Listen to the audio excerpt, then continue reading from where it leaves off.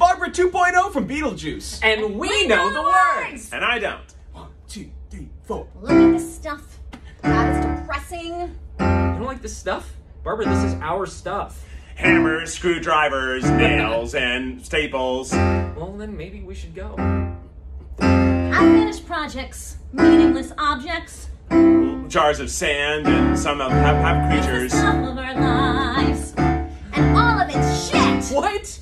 Barbara? Books on computers, a spin your own yarn kit, A bunch of ants loose in the living room. for kombucha that tasted like armpits. I agree. The kombucha's not great. Take it and trash it, burn it or smash it. we have to adapt to survive. but first we gotta put all the ants in a jar and make sure the ants get out alive.